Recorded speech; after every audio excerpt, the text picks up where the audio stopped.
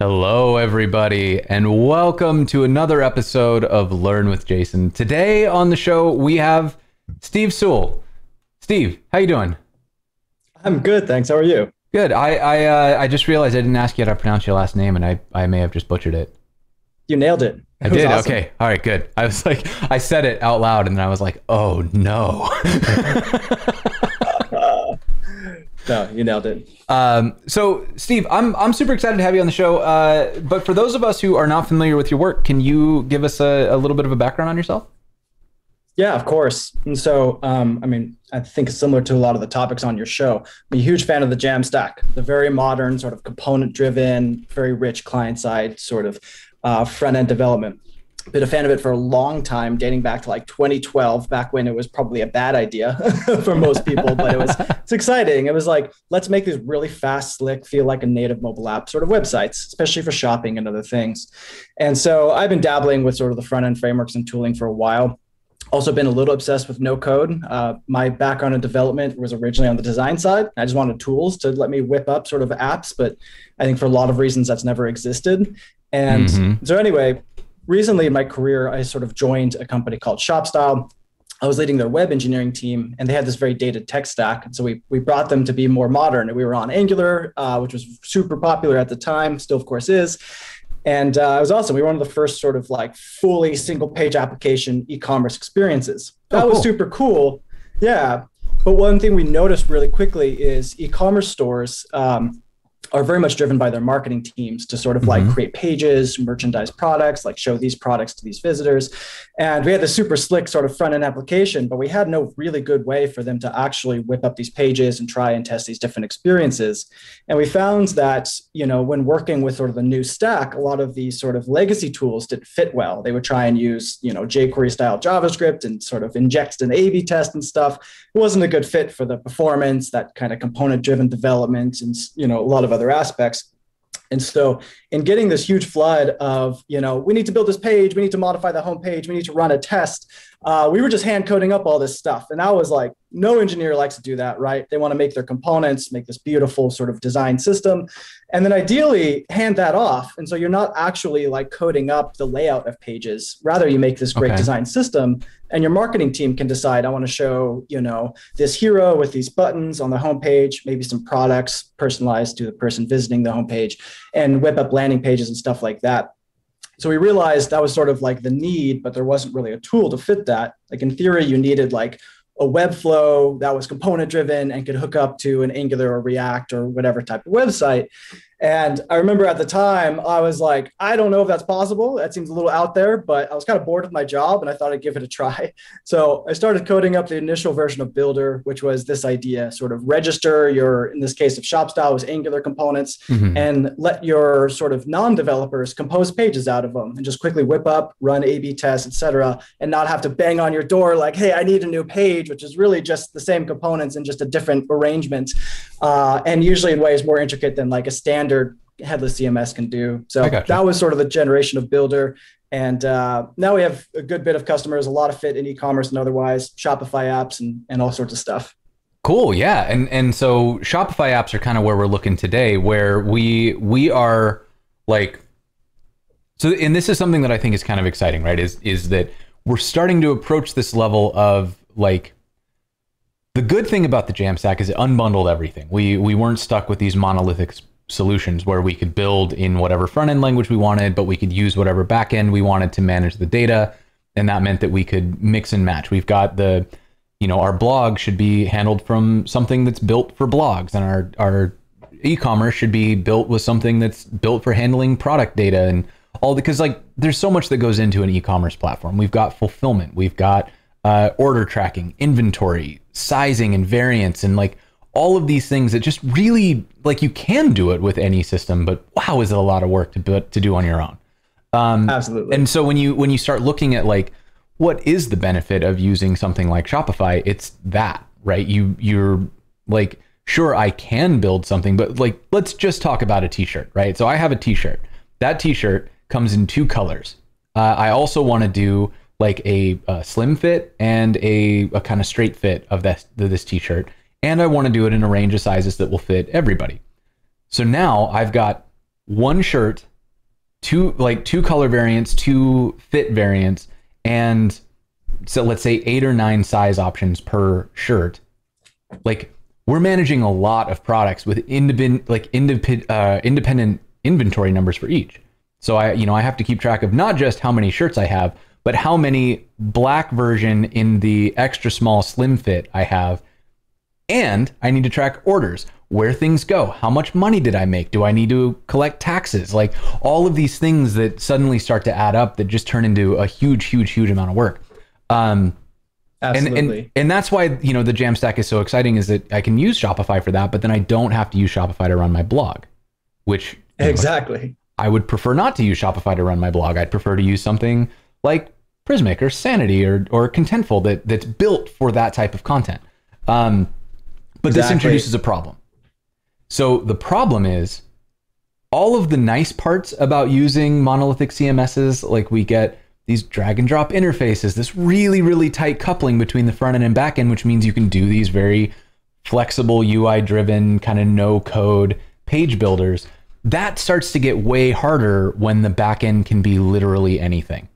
And so what you're saying is that what Builder is aiming to do is is sort of bridge that gap and get us to where we do get to keep our data wherever we want to keep it, the, the right place.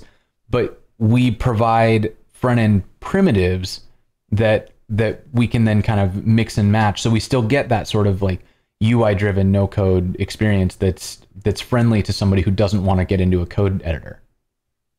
Exactly. No, you're spot on. And even to build on your example of like the intricate sort of shirt example, one thing that is is hard today if you don't have sort of some higher level interfaces is building out that Jamstack Shopify store in the first place, right? You want it to be fast. I mean, we all sort of you can Google it and see a bunch of studies that the speed, the load time of your store has a huge impact on how many people buy products from your store. Uh, I actually just moved to a different area of San Francisco where there's not much cell reception, and I've been Mm. forgotten that like you don't always have super fast LTE, and I can't load a lot of e-commerce websites because you know to your shirt example you might have all of these variations. You might want to show some like components for choose the right fit or explore the Mm. options. In a traditional stack you're doing that with jquery and you have this global javascript that's blocking and injecting and it's just very bad. And so when you're trying to load these sites just not loading when you can use like nextjs and modern platforms you can make this stuff lazy loaded very rich feel like a native app and just Sure, yeah. load instantly. But you know where a lot of people kind of go today is they code it all up from scratch right? And they Mhm. forget the fact that all these people have these cool sizing charts and experiences. Your marketer is going to give you or your marketing team will give you a long list of sort of updates they need. We have these new products that need to do different types of sizes and all this stuff. The back end can handle it but the front end it, it makes everyone's lives easier if the marketer can go in click on what they want make the changes the primitives like you mentioned can render to react or tomorrow you want to be on Vue cool the next day you want to be on ios cool it's all there it's all Yeah. decoupled like you said Nice. Okay.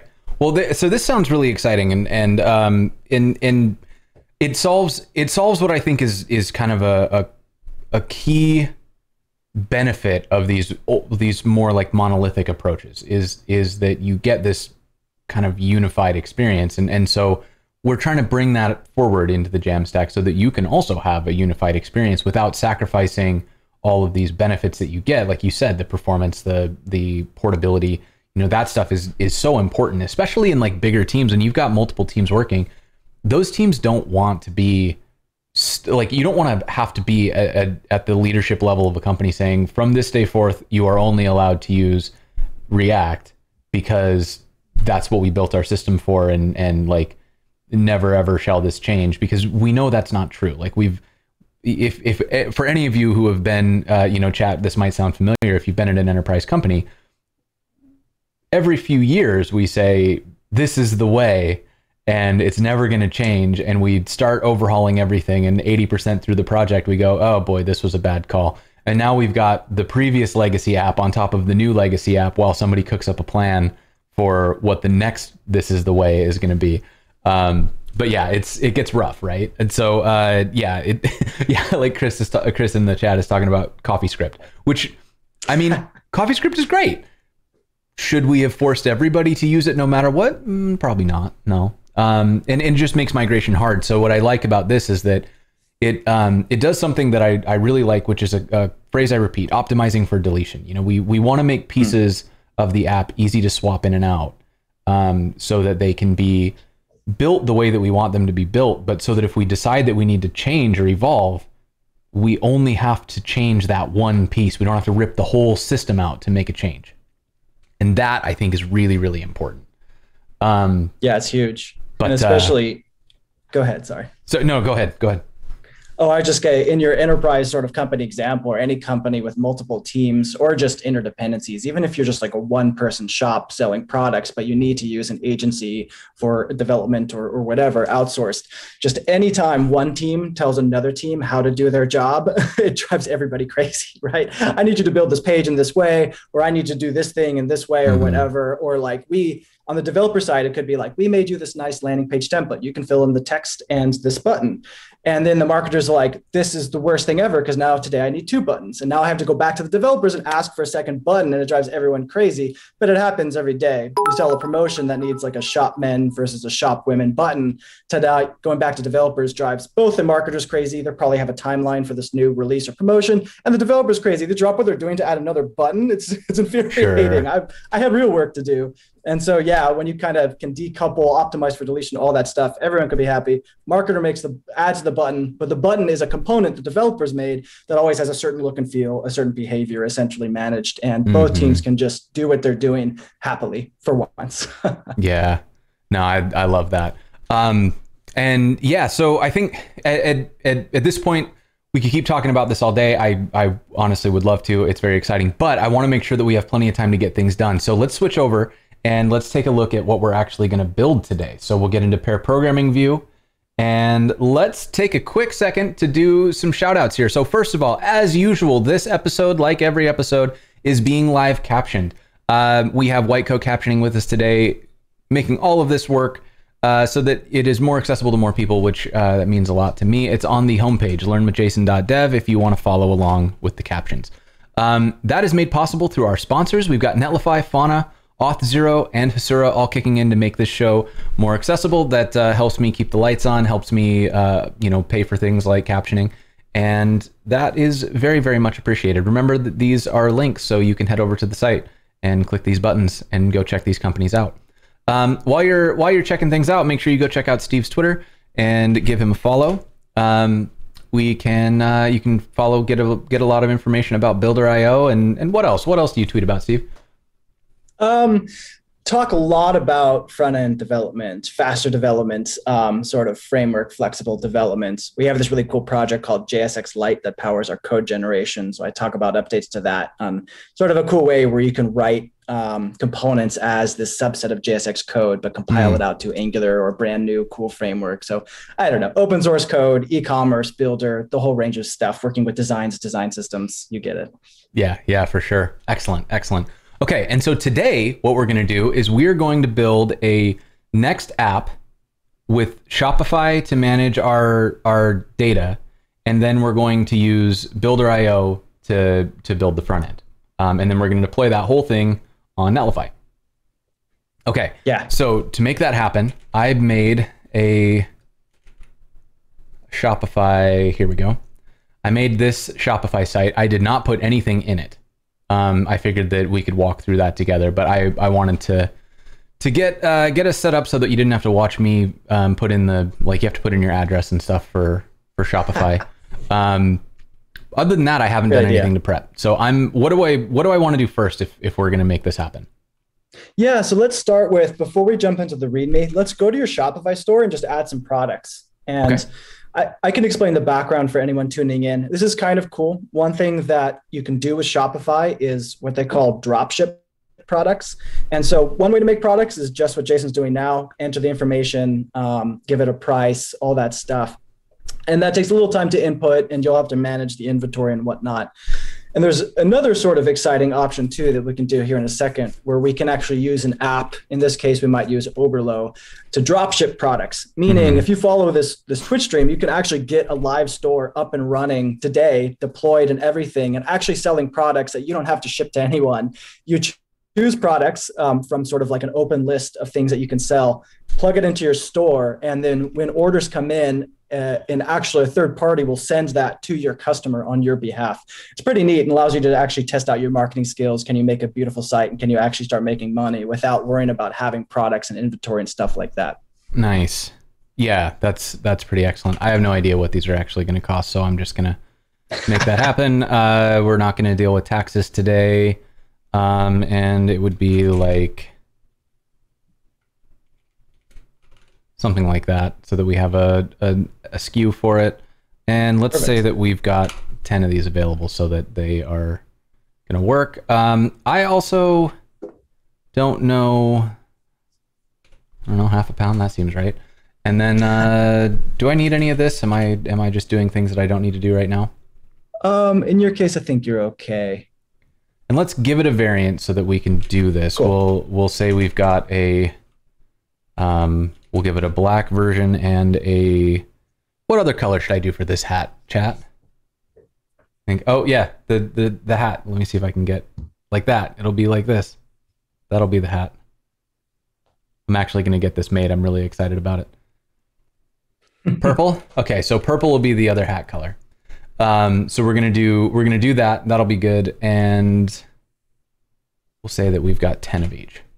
All right, I'm ready now. I have Perfect. I have my first product. Is that is that Cool. enough to get us started, or do you want me to do a second one? I think that's fine. Okay. Um, we can do the dropshipping example if you want to plug in other products, or we can just work with the one. I think working with the one totally works too. Yeah, let, let's start there, and if we've got extra time, we'll we'll come back and add more.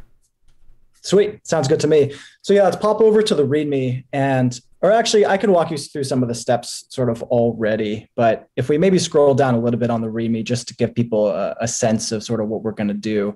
We have one little video walkthrough that's cool, but yeah, there we go. So in the getting started, a little bit lower, the first steps will just be create an account with Builder. So if you haven't done that, why don't we just do that? We can pop into a new tab, just go to builder.io and start the account creation process. I have not done this, so let's do it. I'm going to Cool.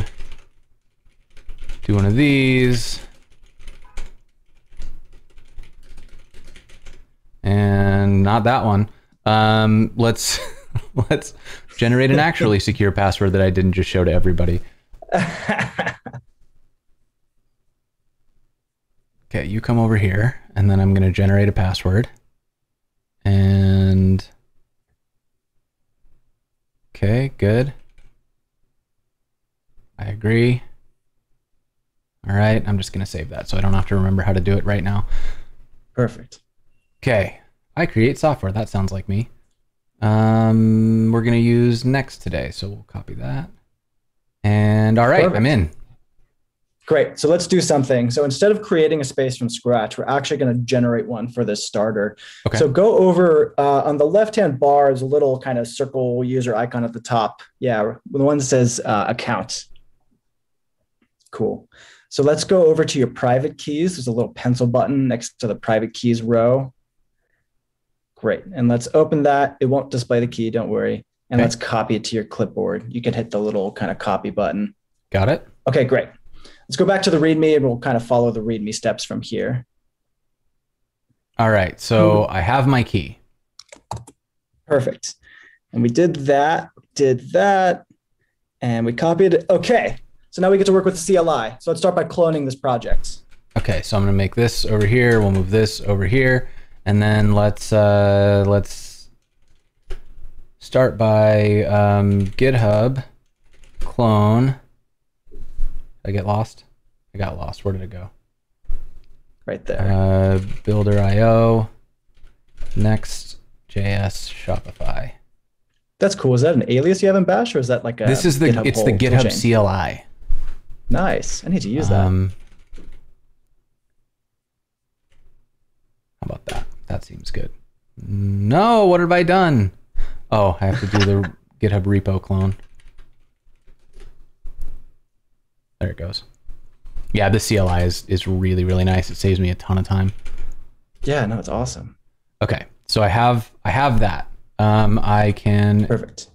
npm install, or actually, is this a it's a yarn project? Oh no, it's a both Uh, project. Oh god, Is it a both project? Oh, I think we left it open ended.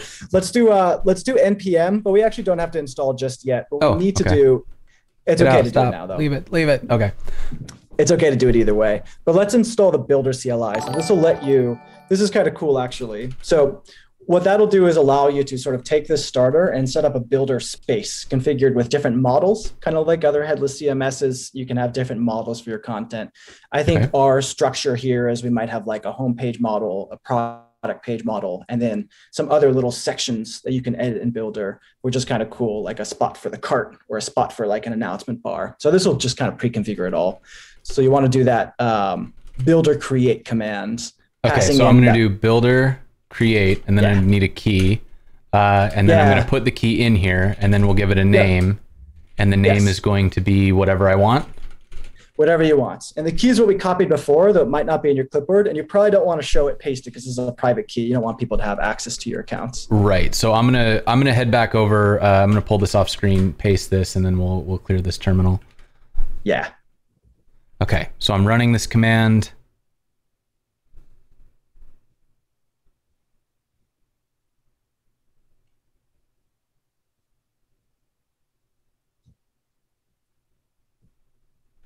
It'll do a few things. Are you seeing like the little loading bars like sitting? up Yeah, I, something like clearing it off the screen here so that I can pull it back over. Perfect. Um, okay, so the the private key, the command is right above where it says builder IO CLI here, and that that's uh, the command we ran.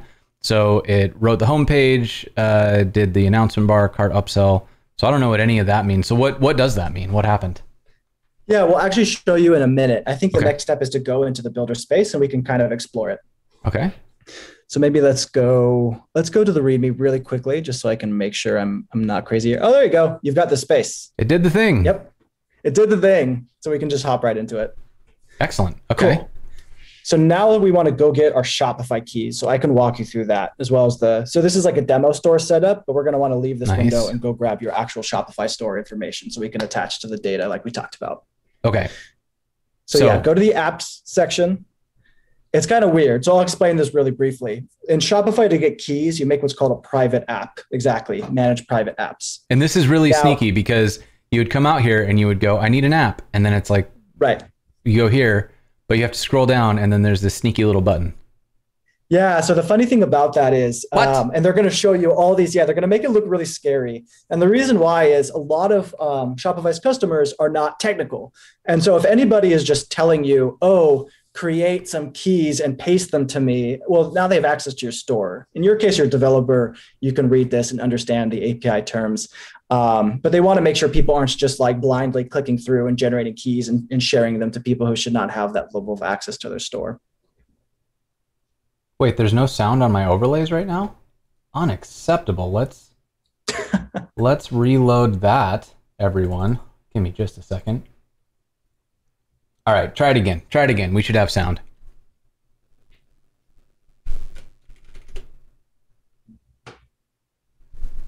What's happening? Why why? I don't understand. I don't know what happened. This is like I haven't changed any settings since last Thursday. okay, well, here we go. Um, fine. Fine. Sorry everybody. I broke everything and I killed your boops. I it's all it's all bad. Oh, thank you for the sub, Cassidy. I appreciate it. yeah. Come on, little compooper. Uh yeah, I don't know why that's not I don't know why that's not doing what it's supposed to do. Here we here we go, I guess. Um that's fine. I'll fix it later. Today, today you will have to deal with just the sound of my voice and the crooning of Steve. Um, Sorry, everyone. all right, so so I'm going to enable private app development here so that we can uh, Yeah. we can make this work. Um, by enabling, man, they really they're like, do not press this button. They don't. I'll tell you the other sort of like secret, but not secret. Um, some app developers don't like to pay. You know, on the App Store, if you have an app, you pay like a 30% fee of any revenue you make.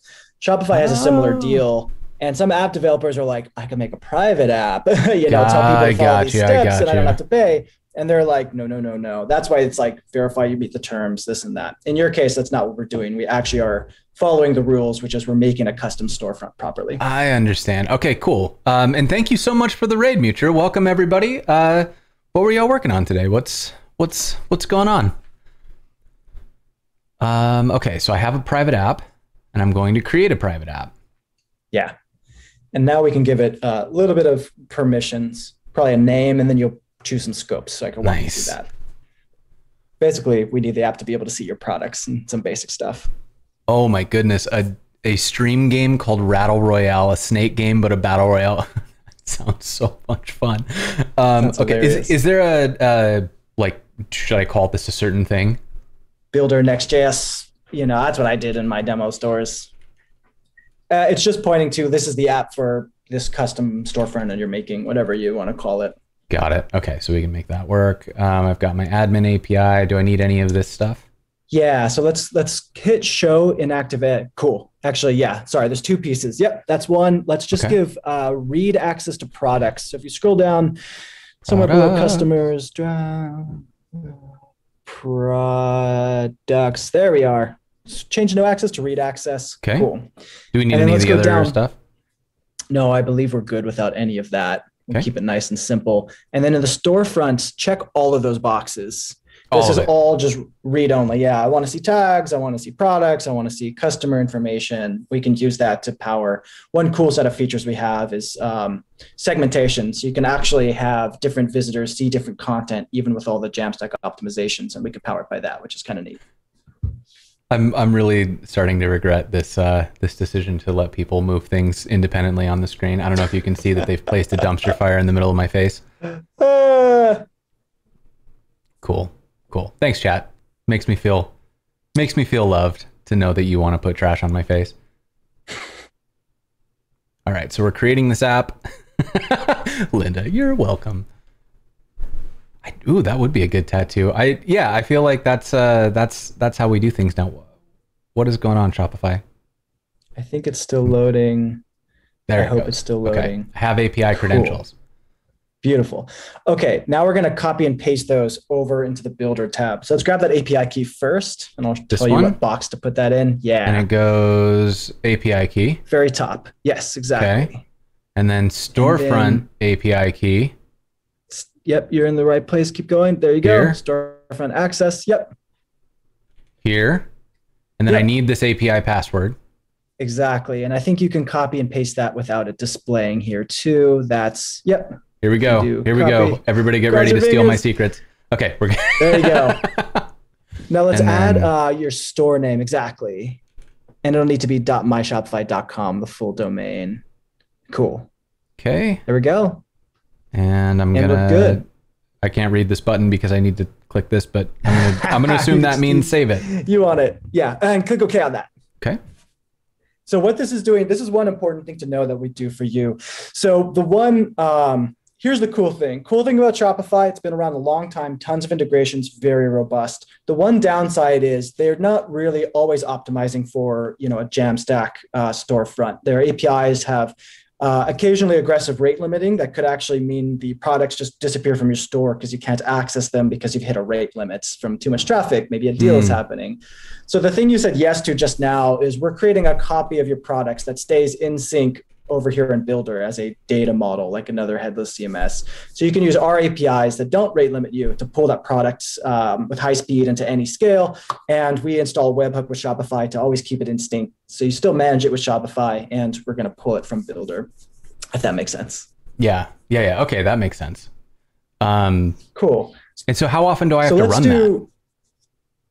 Oh, it's automatic. It Okay, only has okay, to run cool. one time, and it'll be in sync forever. Yeah. Gotcha. Cool, that's cool.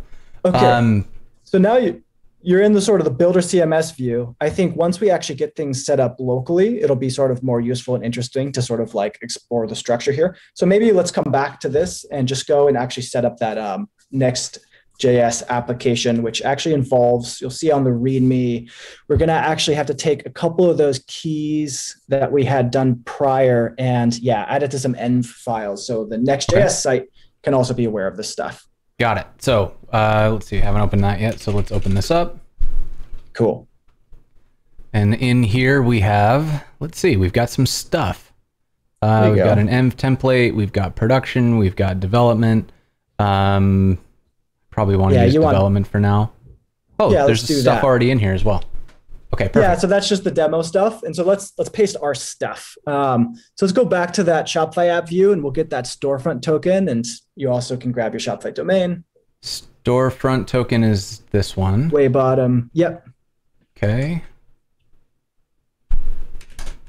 So that one can be there, and then I need the store name, which Name. is here.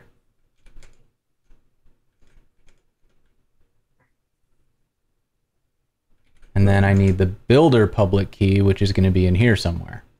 Yeah. So go over to account at the bottom. Yep. And then let's Public? grab public API key. That's the one. Okay. Saved. All right. Excellent. Now Cool. back And to let's the actually- README. Beautiful. We already did this part, right? Did this part. We can keep going. We did that. Cool. Going down, going down. And we did that. We updated our keys. Okay. Now we can npm install and actually run our application here and have some fun. Oh my goodness. I am so excited. Here we go. npm install. Oh, and let's do one other thing because the install will take a split second. Let's go back to your Shopify store and actually make sure that the product you have is uh, active for your custom app sales channel. Click into that product really quickly, and let's just make sure it'll be able to be pulled up. Uh, if you scroll down, there we go, Builder Next.js. Actually, I think it's there. Can you hit? Oh, it's in like a lot of these. Let's go in here. Why do I have three of these? Okay, cool. Son I of have a. no idea. I know why. Do you know why? I kept clicking the button. I kept clicking the button, Steve. Uh, okay. we have the keys for one of them. So we have three Builder apps. One of Um, them's going to work. It's active for all three. It's good exactly. enough. I think we'll be okay. If we don't see products, we can do a little bit of fun debugging. But Cool. I think we're in a good shape. So why don't we jump back to the app and we can do uh, in the CLI, sorry, and do npm run dev, get our dev server running. Okay. Oh, after it's done installing. So actually, we need to install. Sharp. Okay. Oh yeah, it's part of Next.js. Yeah, optimize those images. Jamstack. Jamstack. all right. So npm run dev. npm run dev. Okay. Sweet. Now let's grab. Okay, so it looks like port 3000 is being used here. Let's copy that. And actually, we can see our little site here, which would be kind of cool. In fact, yeah, we can explore the, the structure of the site really quickly. And this this is getting us started kind of out of the gate with everything running, which is pretty exciting. Yeah, Um, exactly. If you just want to launch this store, you could just launch it. voice command. A good voice command for what? What would what would a voice what would yelling Jamstack unlock? Jamstack with a with jazz hands. oh, so not like Jamstack, but like Jamstack. Jamstack. All right, I'm in. I like that. That's fun. There we go. So we have a Wow. school video of this is one of our engineers, Aziz, explaining sort of how to set up some of the stuff, but we already know what we're doing. But this is a page in Builder where we kind of added a little embed code component, but we'll play with that in one second. But this is our store that you can actually mess around with. But we'll do some cool customizations. Let's uh let's see. Next thing, oh, let's copy that URL, that localhost 3000 URL. Okay. And we just need to add that to Builder too. So we go right back to the Builder tab. This is our very last setup step. Go to site URL right on this page, little uh, second row edit button. Let's just paste that localhost. Great. Cool. Let's actually do some visual editing. This is where things get really cool because it's taking components from your code, letting you sort of make pages out of them, passing in the props. We'll kind of talk about all that cool stuff, maybe make some new ones. Okay. And um, and yeah, anyway, so let's go to the content tab. That's the very top uh, icon on that left-hand sidebar. Sweet. And let's go to that homepage. See that little entry there? It's in the middle of the screen. Let's click that. And this should, if everything's set up right, load our sort of local host. There we go. Ooh. And we Okay. can clicky clack and do stuff. Clicky clack So- and do stuff. My favorite my favorite way to work. So I'm ready key- to couple clicky key clack. things to know. So we're editing on the actual sort of development site now. In production, we did it on production. So you're editing a page, so it's in between your header and footer. You can install these builder editable areas anywhere. Okay. Let's just delete that whole components. Custom code components are cool, but you know the purpose of builder is not to rely on code. So let's just Yeah, get it out of that. here. And let's go go to show more in that sort of uh, right there. Cool. And let's drag. Choose the. Uh, Ooh. There's like a hero. Grab that hero component. This is a kind of a cool one. Cool. So this is a component in our code, and if you double click Okay. on it, we can import insert like the props. So this is a normal component. You might hard code around passing in props, and hey, there you go.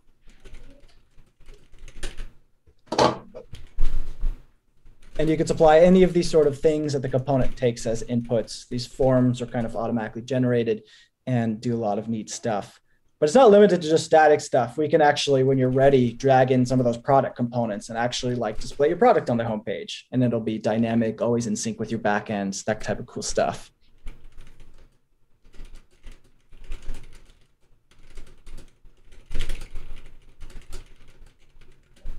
Okay, so that uh, that seems like good, good, good.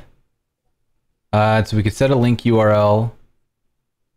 Yeah, if you want the whole thing to link somewhere. Okay. Or the CTA link uh, is that read more button. so you can oh, I that. understand. Okay, good. So Now, that one thing goes that's to cool.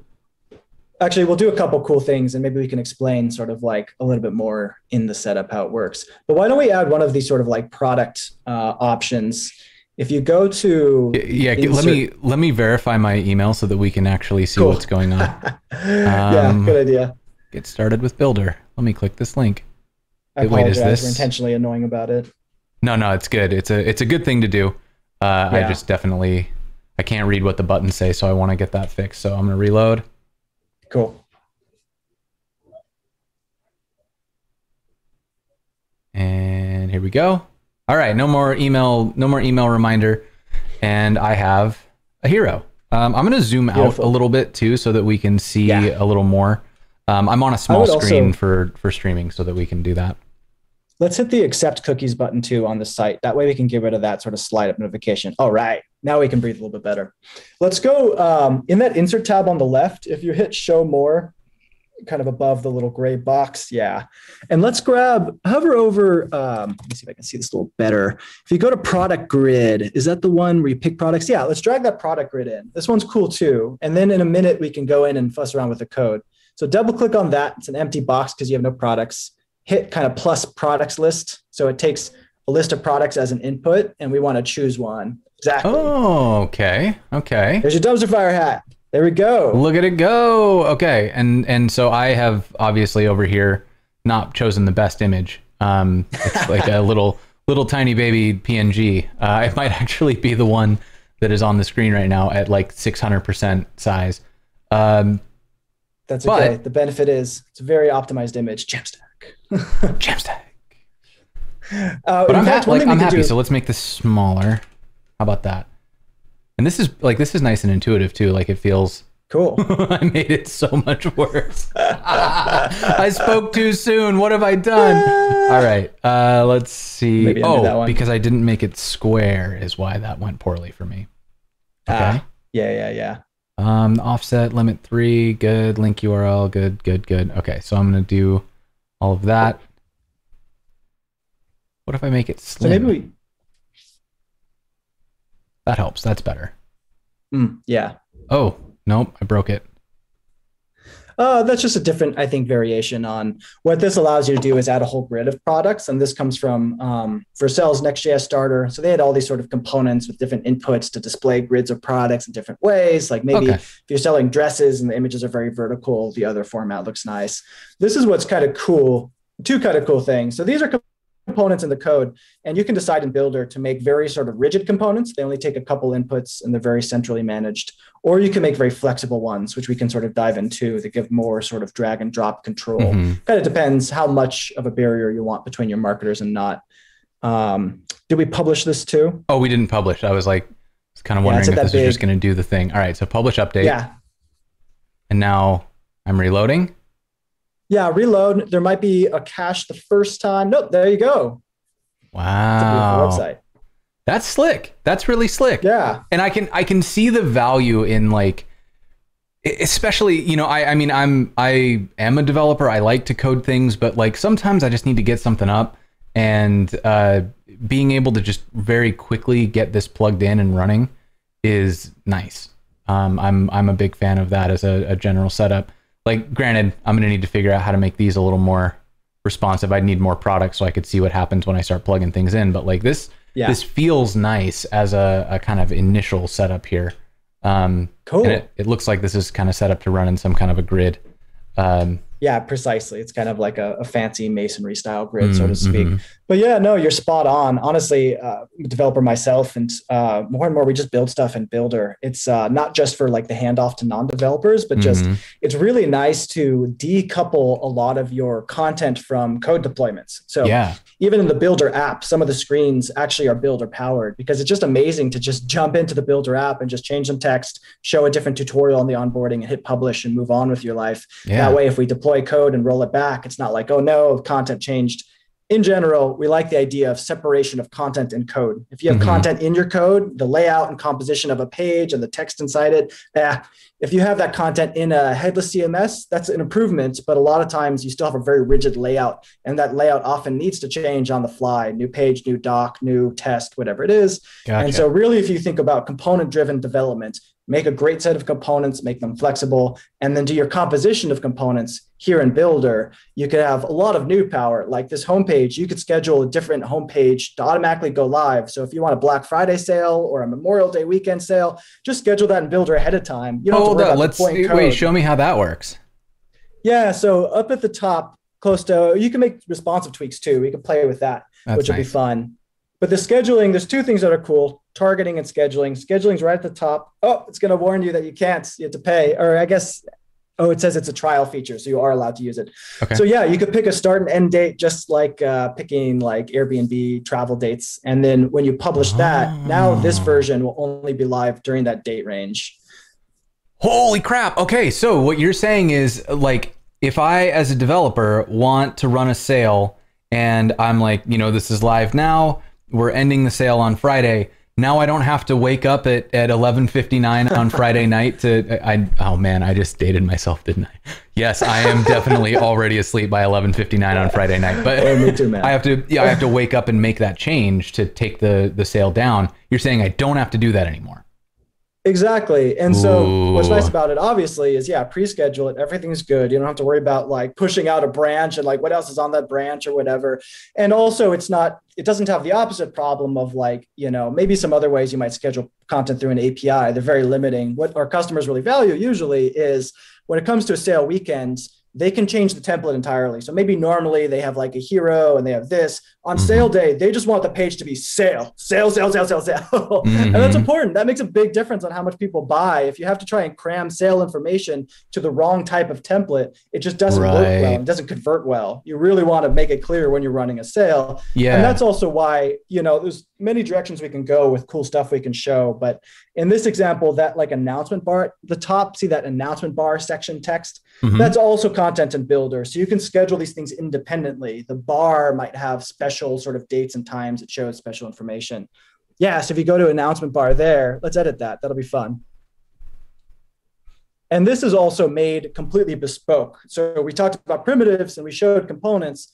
But what's cool about this example is we can actually use the primitives in the style tab this time. Um, we don't have announcement bar not found.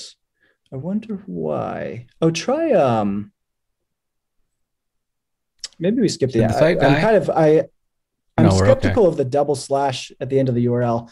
Oh, Try, I screwed um, it up. Okay, so I I probably just need to go change here, here, Yeah, maybe let's try that. for localhost three thousand, and then let's go try it again. Yeah, it's very possible. Maybe we made an update to our, our starter where we maybe renamed the model and didn't reflect in the code. Um, Nope. but there we nope. It was just go. uh, Beautiful. we can't no trailing slashes. So Yeah. UX feedback save me from myself. um, so anyway, yeah, edit that text and let's do some styling too. I think this is kind of fun. So obviously announce whatever you want to announce. Jason is the coolest. Jamstack is the best. Jazz hands for the win.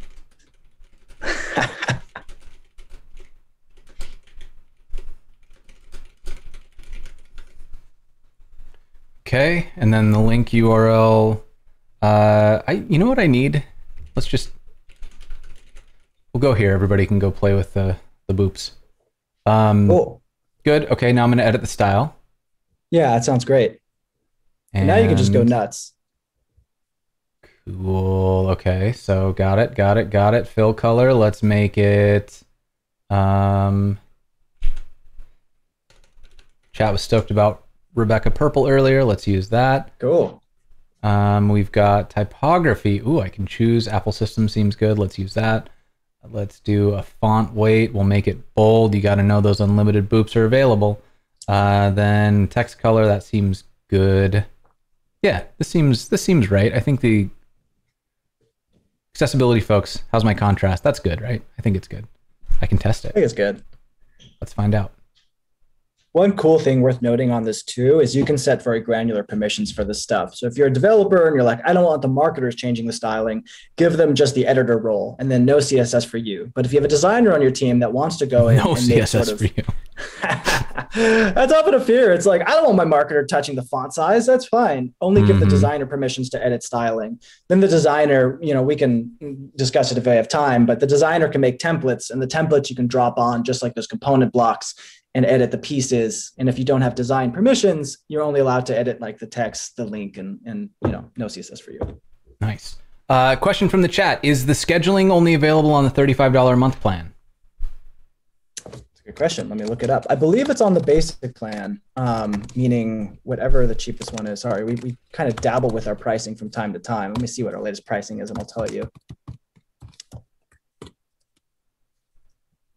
Wait, how do I go to the? Can I go to the website? Yeah, just go to um, you can go incognito, for example. Ah, correct. Sorry, scheduling is on the thirty-five dollar a month plan, but you can get a free trial. Okay, I know you didn't ask for this, but you're about to get some opinions. You know what one of my biggest pet peeves is? When I Yeah. can't go to a company's website when I'm logged into their website. you know what? That is how it used to be, and it drove people crazy that they couldn't just type in builder.io and go to the logged in experience. But you're right. We need how do other people handle that? Like a button to say, no, show me the site anyway. Um, I think like either subdomains or you have like a logged in uh, nav bar up top that's like go to your dashboard. Hmm, Um, yeah. I mean, I I'm not going to tell you how to do your business. Just that's just me. Uh, I don't know. What do you actually? We've got a captive audience. What do you think, chat? Do you want do you want automatic logged in experience, or do you want uh, to be able to go to a to like the homepage of the site? And while we're waiting for that, we can uh, we can we can jump in here. Let's let's let's figure out something else to do. So I and I've made this change, so I'm going to publish it.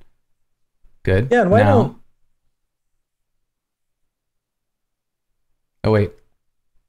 there's a little caching layer, so potentially give it another load. Uh, we use what's called actually um, Next.js is fond of this too.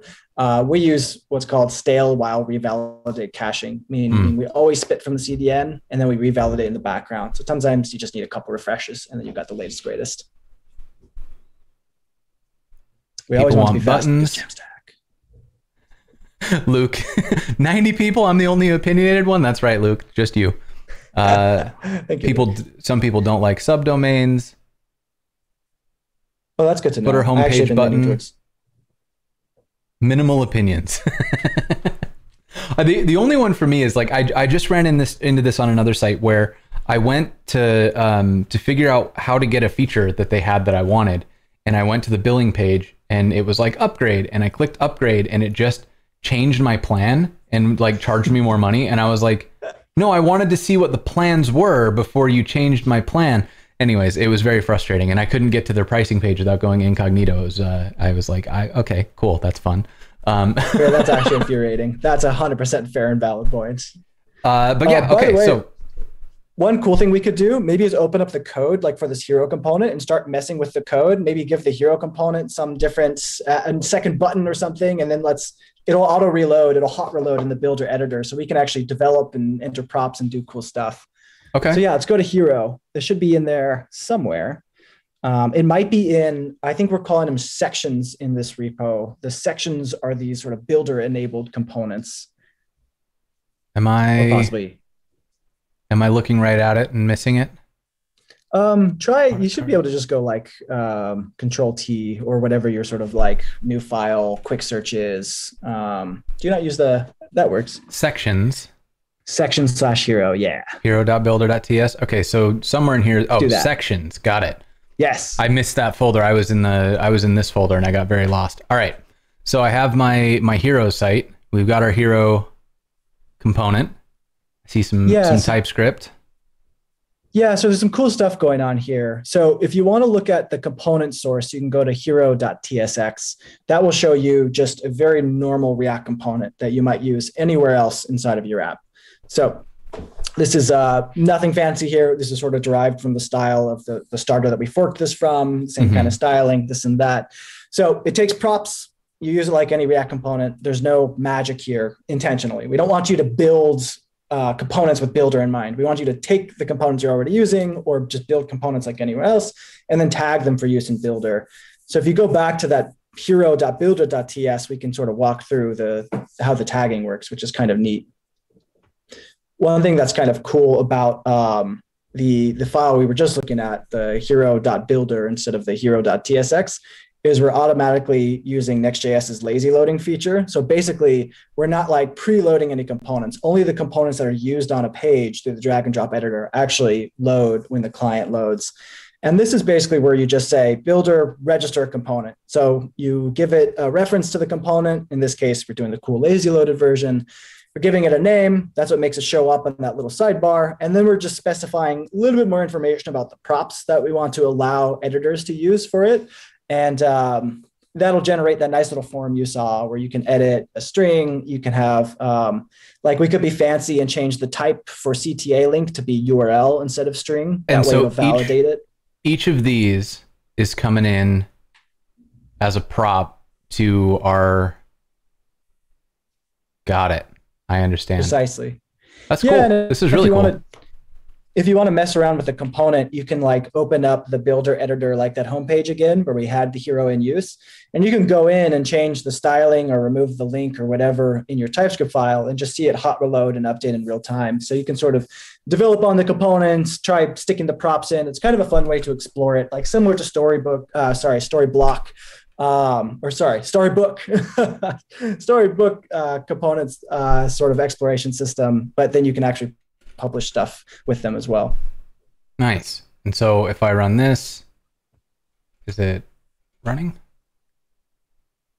Looks like, yeah. Oh, it's just not styled. Um, oh, there you go. Yeah, exactly. So it's it's down there. It just isn't styled. So I would need to add. Uh, is this Tailwind? Uh, yes. Yeah, looks like Tailwind. So drop that in there. There we go. All right, so that's nice and fast. Beautiful. That's that's pretty easy to use. Um, well, cool. So this, I mean, this looks pretty flexible. I, I like it when you just get to write the code that you want to write.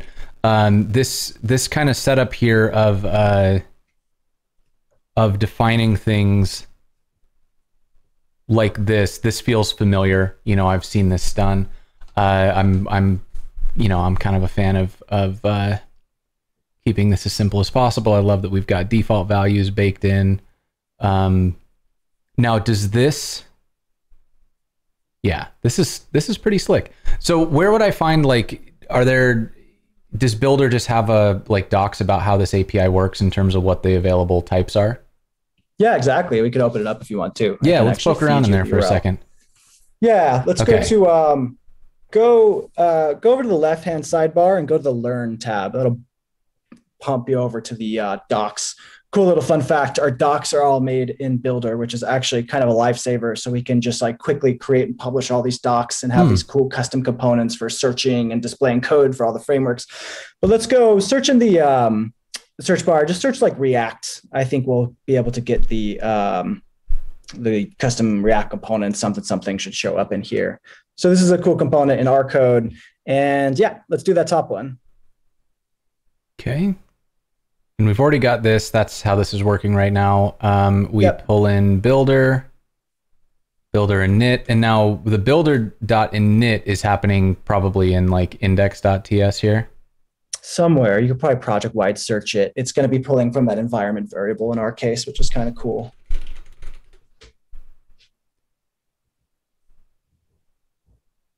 Cool. Yeah, Okay. there we cool. go. Cool. Cool. Cool.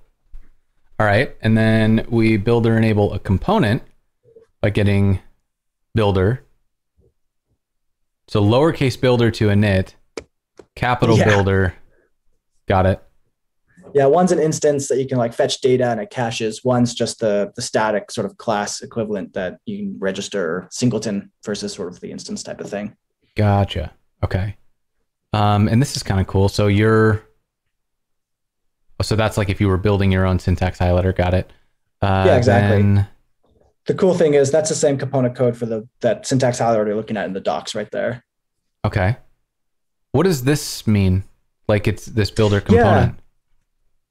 Yeah, yeah. so the builder component is what you use to say, like that homepage we were editing or that announcement bar. Mhm. Um, let's take the announcement bar example. So basically, a lot of people might have a hard coded one, or they might have it hooked up to a config file or uh, a sort of more minimal headless CMS.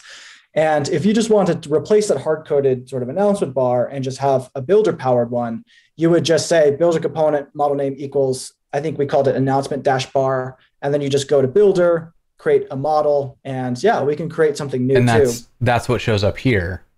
Exactly. Okay, let's actually can we do that? Let's do that because that seems like something that would Yeah. help me um, really like help this gel. So uh, I would call this a section. Where's the announcement bar? Um, it's probably part of like the page layout. Search uh, announcement dash bar, and I think you'll be able to uh, find where that's defined. Announcement dash bar.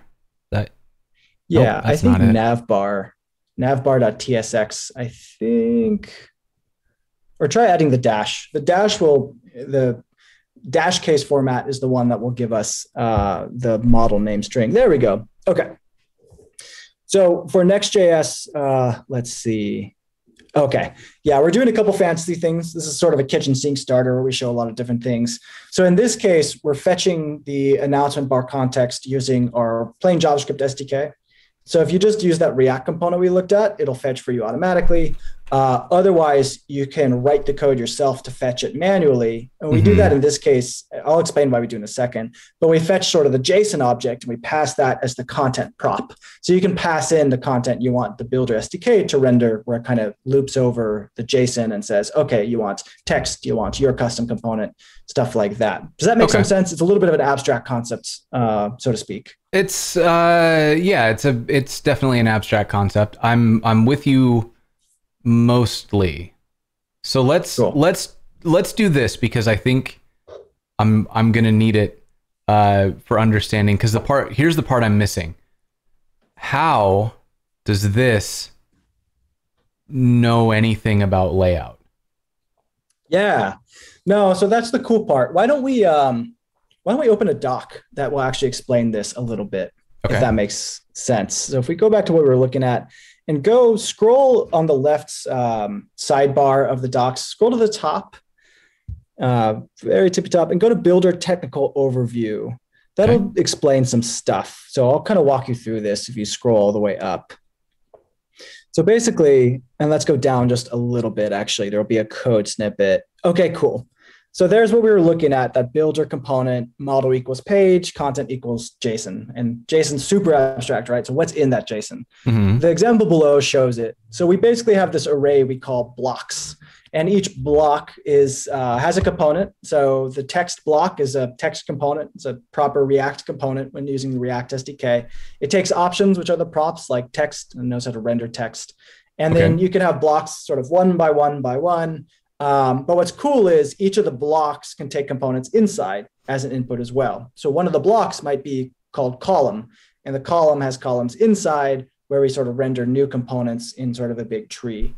Each of these things can also have styling information. So when you click to set text color and stuff like that, that sort of eventually all comes together and renders full pages or nav uh, announcement bars or, or stuff like that for us. Gotcha.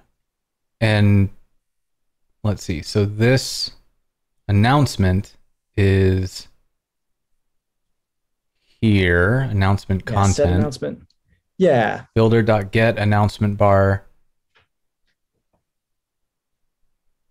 So the one cool thing you're seeing, So the, the simplest uh, way to fetch the data is just say builder.get announcement bar. You figure Okay. out what I should see. And on our back end, we'll say, okay, this one's scheduled to go live tomorrow. So not that one, but this one is live now. So you get this. But what you can also do that's kind of cool is what we call segmentation. You can pass additional, what we call user attributes to be smarter about what content you should show. So this is pretty cool in e-commerce land because a lot of times you might want to show like the announcement bar, we pass what all the items in the cart are. So basically, maybe if you have no items in your cart, we say, hey, have um, you know $50 of items in your cart and you'll get free shipping. Once you have $50 worth of items in your cart, we might start showing, great, you're gonna get free shipping, or add 50 more and you'll actually get, you know, super fast shipping or whatever the heck you want, uh, if that makes sense. So we Okay. can pass information and on Builder, we can actually target different types of content based off of that information. Got it. Okay. And and so when I look at this in Builder, am I going to see something about item in cart in here? Yeah, you want to take a look at that? Let's go into that. Well, so we'll do two things. So the cool thing about Builder is any piece of content can have many, many entries. You know, like if you schedule different times, you target different ways.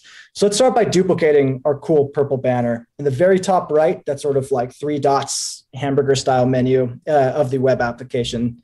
Um, Here. yeah, exactly. And let's go duplicate. Now we'll have a new sort of clone of this that we can make our edits and then choose who should see it instead. Okay. I got you. That's one of the neat things. That's one of the things that I noticed in, in my sort of past job was the uh, a good marketing team should have a huge volume of ideas. And when they're bottlenecked by developers, you know, you can't get a lot of those ideas out. But if you can make many, many copies of content and create different variations that are A/B tests or targeted, you can actually get sort of a lot of conversion value or make you know sell a lot more products. Um, yeah, so we'll make our variation and then we'll target it. Okay. So because uh because it looks like we're getting whether or not there are items in the cart, we should be able to show if you don't have items, we'll show the sale. If you do have Yeah. items, we can show this. Perfect. Yep. Okay, So let's so- add the items. At the very top, next to scheduling, is the targeting button. Targeting. Boom. Target. And yeah, let's add some targeting. items this in is- cart. Yep. Now, okay, so now is this a thing that was added? And if so, like it, are user attributes like is there a schema here I set things? Yes, exactly. And we could look at that too. So what we Okay. did uh, for this sort of generated space, we set a schema which is um, we're going to be able to target off of items in cart. Um, a URL, so maybe clicking on a collection page might show you more specific information about the collection that you're viewing. Okay. Or if we're editing stuff on a product page, we might say, you know, there's a whole list of use cases, but we might say for this specific product, you know, maybe we sell a mask and a shoe. And for our shoe, we're going to target content, all the sort of editorial about why our shoe is, you know, the most amazing shoe ever. But for the mask, we're going to have totally different content relating to the mask. And you can get fancy here. I think we also show collection. So we can say, okay, maybe we have lots of shoes. So we can say, okay, any shoe that's in the shoes collection, you know, we Mhm. show this. So any shoe has certain information, any mask has certain information. You can kind of go go wild with all the different sort of use cases here. Got it. So then if I publish this, now that we're targeting, um what I should see is I will reload. Yeah, and this is where caching might might hit us. So we might have to reload a couple times, but this should work out as expected.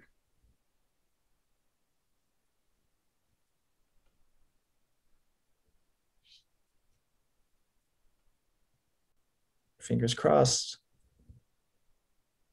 Okay, so we have There we something in our cart. And Yeah. now if I remove it, There you go. there, add it back in. Cool. So I mean this is slick, right? Like this is uh, I can see I can see where this really starts to be powerful. I um I can see I can also see how I could make this very very hard on myself as a developer because there are lots of move like things move on multiple axes here. So so I do think that there's like you know this is this is one of those like probably start by reading the docs because um you know with the the variations and you know the, so the the custom components and then the builder components and the extra schemas make sure you know what's available right? So if if we dig in here um i want apis probably. Sure. Yeah. maybe. Content api which which is the api that i actually want if i want to see like what your schemas are? This one. Um, maybe oh yeah, you can go to uh, probably GraphQL if you want to inspect the schema that you've created. GraphQL API is probably a good one. And that's where you say just go to the GraphQL Explorer and you can poke around sort of all your different um, models, the options to query off of, stuff like that, which is kind of cool. okay And can i just hit this Uh, I think you can go click on uh, below that video. I think we have a big like Oh. world's largest blue button. There we go. yeah that I'll one's given good one to the above the fold. This one's giving the 11ty docs a run for its money. Let's see which one's bigger. oh, I think 11ty's got you beat. yeah, it was beat. You know, All right. the nice thing though is that button's made in Builder, so I can log in and make it about 10 times the size and publish here on the spot. we can get in the competition if we wanted to. Okay, so so then in here, yeah. Um. So Yeah, so that's our things. So we have an announcement bar, which have certain fields. mhm, Uh, we have a different query type for if you want to get a list, or oftentimes people want one. So we have like one announcement bar, or you can get a list of announcement bars. For most sites, you just have one displaying at a time. got it. Got and it. And also- it. per your point about sort of setup, um, two things that are probably actually useful there. One is generally we sort of recommend people start simple and they get more advanced. So we made this sort of kitchen sink, you know, approach where we can show you sort of everything all at once. Um, but most of the time, people just hook this up to their existing site just to create the ability to create landing pages. So you don't have to register components, you don't have to do custom targeting. Just hook up a very simple code snippet, and now people can start generating landing pages and probably wipe out a good chunk of your engineering backlog just by being able to create pages themselves. Got oh it. yeah, these are our Shopify products. So these are data models. This is actually what we're querying from to show uh, your products. If you hit enter now, actually, you might be able to just see um, products without specifying any query details. Okay. yeah, Now, there you go. how do the query details work? I it's um, it doesn't look like there's a schema for this. It's just kind of abstract JSON. So where do I go to find how these work? Correct. Yeah, so let's go over to the API docs and I can sort of explain it for you. So go to the content API this time. Um, we actually might have a query example. Sorry, go back to the GraphQL one. We might have a query example. Uh, search, uh, if you like, control F for query. Uh, let's see if we actually have something useful here. Keep going. Uh, maybe query colon. There we go. Yeah. So what this takes is MongoDB style queries. And so if you just want to match a key as a value, um, the contents of uh, an object is usually in the data uh, object. So uh, any content entry in Builder has a couple top level fields, and then all Mhm. the custom fields are in an object called data. So- Okay, so if I run it like this, then I could do something like Let's do ID data colon. ID. Like in this that? case, ID is top level. ID is like one of the built-in properties. Data is the custom properties you can add on top. So yeah, try that. Okay, but then if I change this to be like something else.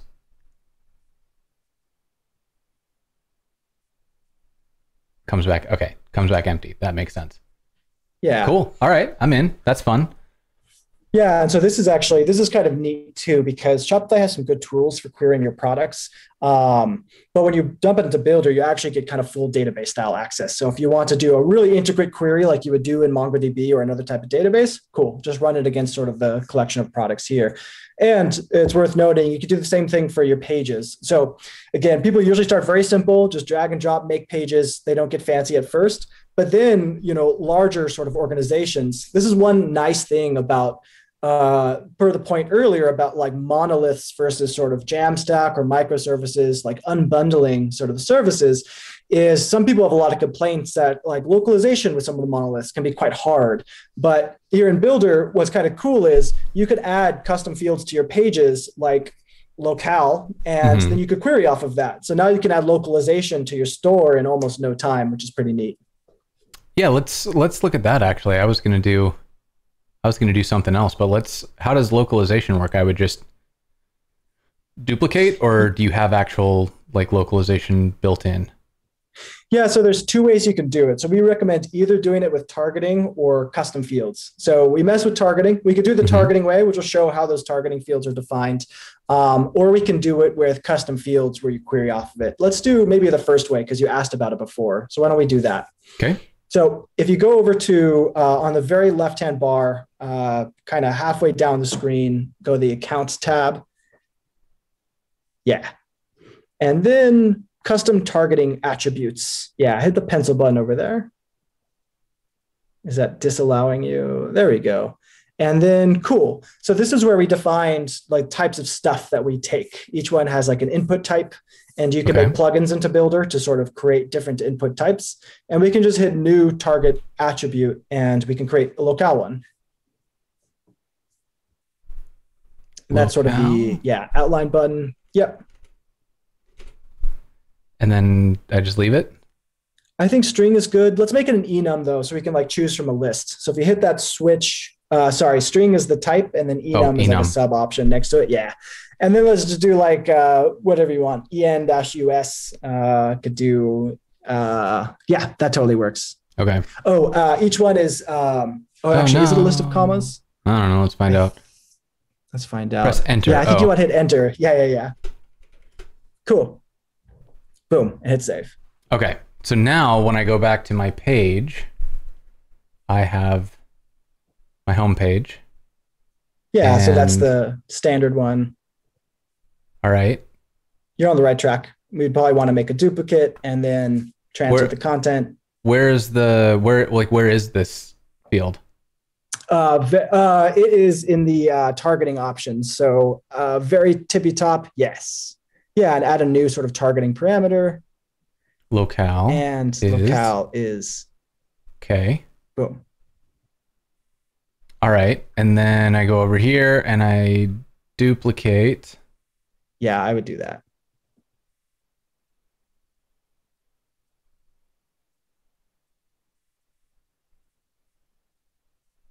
And I can switch this over to Espanol. And then uh,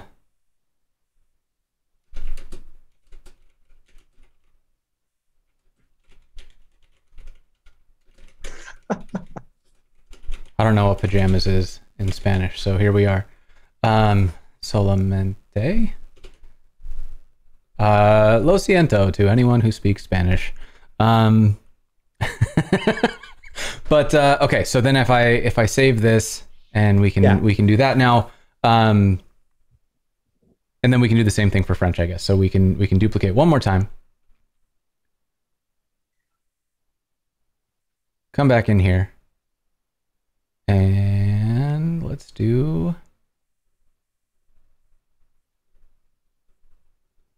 Don't tell me you know how to write French too. Let's find out. Um, Did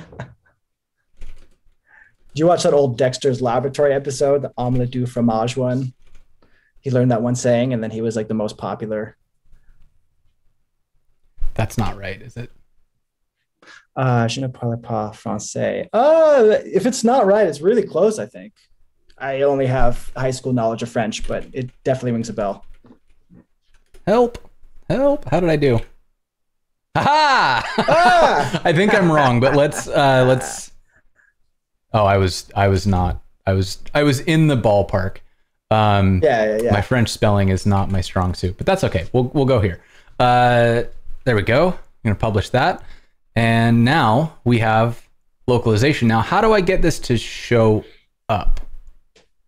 Yeah, so let's go back over to your code. This is sort of this is perfect. Okay. Um, so maybe we'll hard code it for now, so we don't have to. Uh, we might not have time to like sh- create a locale picker and stuff. And so yeah, I think if yeah. we hard code it, you can figure out how to you know provide it. So let's do a project wide search for. Uh, it's probably going to be um, look for page in quotes. That's going to probably be the easiest way to find um, where we define sort of like model equals page. There we go. Go to model equals page at the very bottom results in like path.tsx. Cool. Okay. There it is. And so let's go to where we fetch that content. So in this case, we're fetching in the get static props uh, field, most likely. Uh, so do, do, do. go up a little higher. There's probably going to be a builder.get. Oh, there we go. Uh, Here. Okay.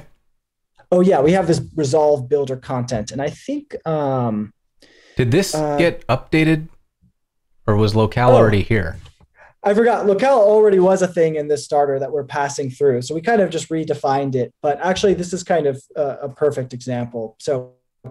Uh, we got one step ahead of us. I think we had the original starter had localization. I think we actually removed it from the builder space to not confuse, kind of per your point about a lot of bells and whistles. And essentially, we're adding it back. So why don't we just click into um, why don't we like command click into resolve builder content and see what's in there? I think we've created like a little wrapper function around fetching the content that does what we want. Yeah, there we go. okay, cool yeah, we pass the name and targeting attributes. So yeah. Oh, targeting exactly. attributes is what needs to go in, right?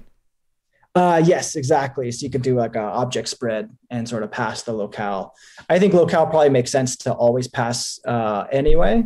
So can we can I, either just ignore the facts that we have it. Would I be able to put it here? Uh, that object is the user attributes we're passing. So a little bit, a little Model bit more name, confusing. Targeting attributes. Yeah, exactly. Oh, I understand. Okay, I well, I only sort of understand. So this locale that's in here is already in here. So if I hard code this to French, I should get the yeah. French version.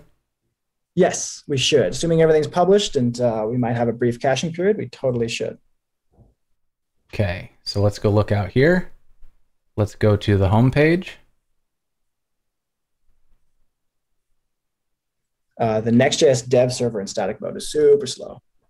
Oh, uh, oh, I think that's probably the homepage collection. I think it lists the collections on top, and Shopify stores come with a homepage collection. Okay, so we here go. we go. We've got we're in French. Then if I change it over to Spanish, and if I change it to English, cool. All right.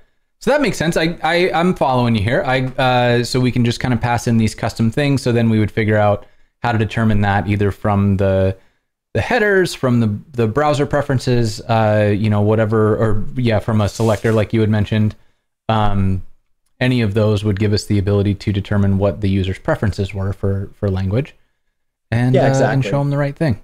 Cool. This yeah, is i mean this is if, slick. This is i i can see i can see the the power of this approach right?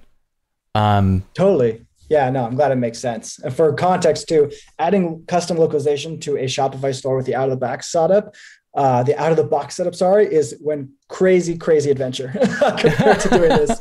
so one thing that, you know, if any Shopify developers are watching, this hopefully should be a breath of fresh air. That's quite simple to just sort of like create and pass params and update it on the fly. And so, and we let you be in control of how you want to manage that. Like you said, maybe it's a cookie, nice. maybe it's for static, like to optimize for static build, we'd probably say it would probably best to be on like a subpath. That way the pages can be generated, you know, statically served from the CDN. Again, with something like Netlify, we'll do that in a super duper optimized way. And, um, you know any other things that don't need to be rendered on the sort of server side the initial page load like maybe that announcement bar could be dynamic or maybe like when you slide in the cart some content that could be totally dynamic based on cookies or, or other crazy stuff. Yeah. And and so this um i believe we are like we should be good to deploy this right? If i want to yeah. git init um and then i'm going to git add pages git commit that and do a um, update locales. Good. Then I can push, uh, or oh, wait, I need to repo create. I love this. CLI, we'll make it a public. Continue. It's so cool. I'm glad I got to learn. Remote origin already exists. It does? Did you do a fork or something? Oh, I did. Okay, so git remote remove origin. And then we'll try that again. In the Name chat. Um, everyone in the chat's totally right. This uh, one way to look at what Builder is, they were mentioning sort of like Weebly and stuff like that. Honestly, those can be great for if you're like an individual SMB. You know, I have friends who have no development skills and they just make a Weebly site or Squarespace or Wix or even Webflow, and it's awesome. But then as soon as you want to add like a line of custom code, suddenly it's like, oh my God.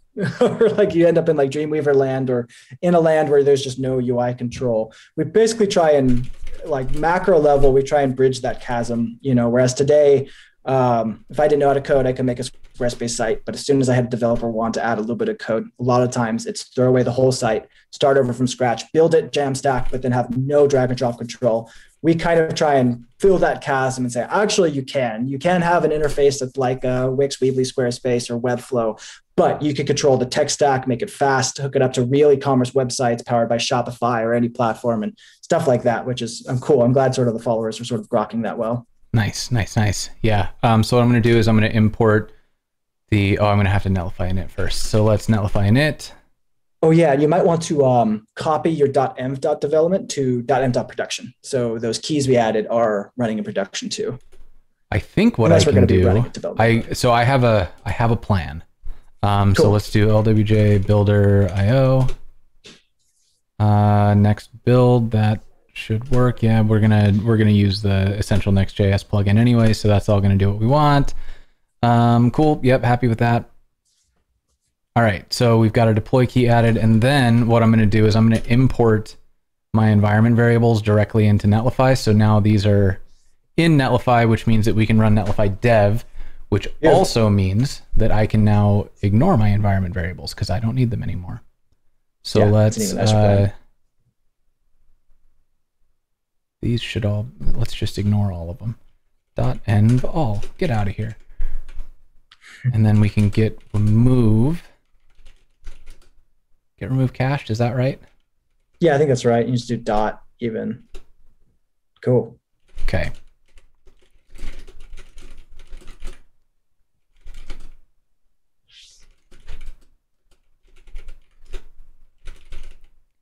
Okay, so now if I push this, what should happen, let's let's find out. We're gonna Netlify open this. And are you gonna open the right browser? You did! Okay, so what should happen, let's find out, is it should automatically set up the, the Next.js plugin for us. Um, cool. And this should just work. And is that automatically determined, like just by having a next config, it, auto, it, it understands? We yeah, we use some heuristics to figure out what framework you're building with, and if it's Next, we have the the essential Next.js plugin, which will do like it makes sure that the the uh, stale while revalidate stuff will work on on Netlify and, and things like that. No, that's awesome. I think for e-commerce sites, stale while revalidate is killer. Having to do uh, full static builds without that revalidation um, is difficult if you have so many products like large catalogs. So that's that's an amazing feature that you all support.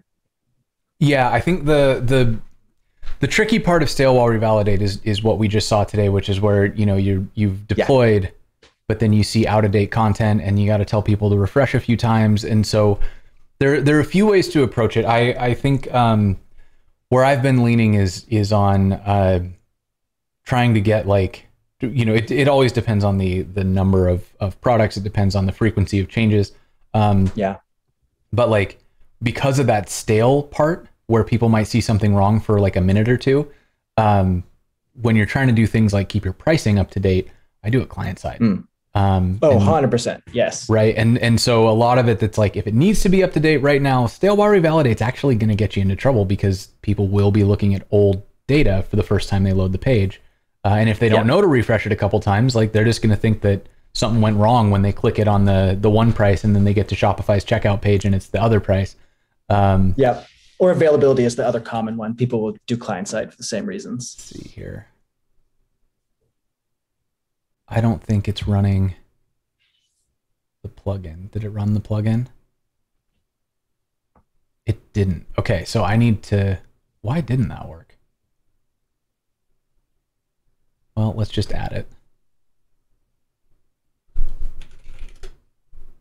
So I'm going to add this plugin, add it to this one. There's a there's a, a reasonable chance that I have uh, that I have screwed this up because this is my account and I add a bunch of like I'm on a bunch of feature flags right now. so there's a decent chance I broke it for myself. So let's uh let's see what happens here. But this will this will build again. Um and we'll get the uh we'll get everything up and running. I also want to check just to make sure what version of Next are we using? We're using Next 10.05. That should be fine the there was a, a Next is tricky because their minor versions cause breaking changes uh, sometimes, mm. and so like 1006, 1006 to 1007 was had some breaking changes, and then like most recently, I think dot nine was a breaking change because they switched from like synchronous config loading to async config loading, and that broke a bunch of stuff. So there's there's challenges, but yeah. So this is this is installing and loading. That that should build properly and then we should good we should be good to go. So while we're doing that, how about we do this? Let's do a let's do another shout out. We've had this show today completely live captioned. Thank you so much to Whitecoat Captioning for being here. Uh, and that is made possible through the support of our sponsors. We have Netlify, Fauna, Auth0, and Hasura all kicking in to make this show more accessible to more people, which really means a lot to me. Make sure you head over. It's on the homepage every week uh, so that you can go and check that out. And keep in mind that while you're there, you can go check out the schedule. We've got so much exciting stuff coming up. Later this week on April Fool's Day, and no, this is not a joke, we've got Prince coming back on the show. If you don't know Prince, you should. Make sure you come back on Thursday. This is going to be really fun. We're going to be playing with um, the the event sub API from Twitch, doing some real time stuff, trying to play with the overlays on the show. Uh, then next week, I've got Cassidy Williams coming on. We're going to troll Sarah Sarah Drasner, who until very recently was our boss. Um, then uh, Nikolas Burk is going to come. We're going to do some stuff with Prisma, which, if you don't know Prisma, it's like a uh, ORM like thing for databases. It's very, very cool. They've been doing a ton of work on it. Um, I'm super excited about that.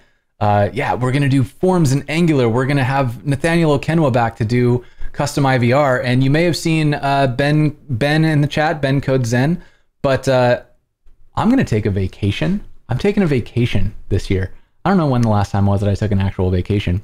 But just because I'm going to go on vacation doesn't mean that the show shouldn't go on.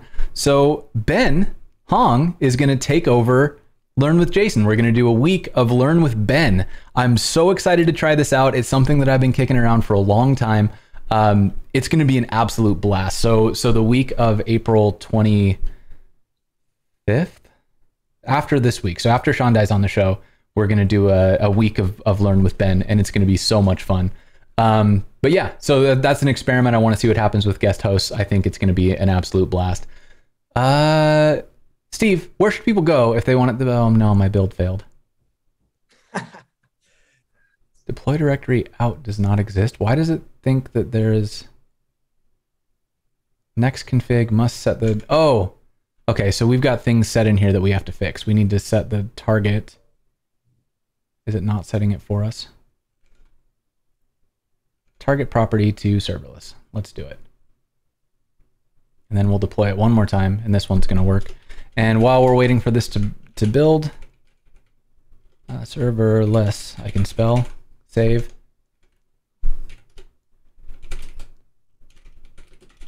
Uh, fix, add config. That's I think that might be why this didn't get automatically picked up is that the next config is is not compatible with Netlify. So let's git push that. That'll get going. And once that is in, we'll watch this deploy. Here we go. It's going to work this time. Okay, so Steve, uh, everybody's going to go follow you on Twitter right now, right? Right, chat? How many of you have followed? I'm going to refresh this page. How many of you have followed since we started this episode? Yeah, I don't have a lot of followers. Six of you. There you go. All right, let's get the rest. Sweet. Everybody else get in here. Um, Steve, where else should people go if they want to learn more about Builder.io? Yeah, I would say just go to builder.io. I think there's a lot of sort of resources linked to there. You'll have to go incognito because of being logged in. Uh, and also, actually, the other cool spot is our our GitHub. We have a lot of open source stuff. If you go to github.com slash builder.io slash builder, yeah, there's a lot of really cool stuff here. There's examples how to get started with your tech stack of choice. I saw some people don't want to use React. You're in luck. You don't have to. You can use Vue, Angular, or even sort of roll your own. We even have a sort of like frameworkless HTML API. You can just hook up into any stack. We have SDKs, examples, plugins um, a lot of cool stuff. And you can leave us GitHub issues and be like, hey, I hate this product, or hey, I want this feature. And we respond to them all and we're helpful on them all. So I'd recommend anyone to poke around there. You can even check out other sort of related open source projects we have. Like mm-hmm. um, a really cool one we have is a import from Figma. So you can make a design in Figma using their cool auto layout feature, which is a lot like Flexbox. And you can just suck it into Builder. Yeah. And just rinse and repeat that. Uh, and it's cool. cool because you can do that as a builder customer, just import design and publish, or also, Jason, if you hit, there's like a code icon up at the top by the published um, text. Yeah, by the undo redo. And if you go to get output code, Ooh. you can actually turn any content, yeah, into code of your choice. If you hit that, you'll see tabs for Angular, React, Vue, HTML. Yeah. And so you can sort of grab code so it's pretty fun to just import a design and turn it into code. So you don't have to even be a paying customer. Just start using it. And if you're tired of copying and pasting code and having to repaste, hook it up to Builder's APIs, and now you can import, publish. So you can see Slick. more about that on our GitHub. Play around with the features. It's pretty fun stuff. Very very cool stuff. Yeah. So um, let's see. This is actually generating static pages this time, so I think it's gonna work. Let's let's Beautiful. hope. Oh yeah, this is this is what we want to see. This is from the the next plugin. Um, so this should be live here in just a second. Uh, and with that, we are out of time. So let's go ahead and find a channel to raid. Steve, thank you so much for hanging out today. This was super fun. Uh, I really appreciate it. Uh, Builder.io looks really, really exciting. I think uh, I'm, I'm excited to see what people are out there building with it. Um, everybody's going to go follow you on Twitter. Uh, y'all, thank you so much for hanging out today, chat. It was an absolute pleasure. We will see you next on Thursday. We're going to see you on Thursday. It's going to be great. Talk to you soon, chat. Let's go to this scene. I got discombobulated at the end. I forgot what's going on. Okay, bye for real.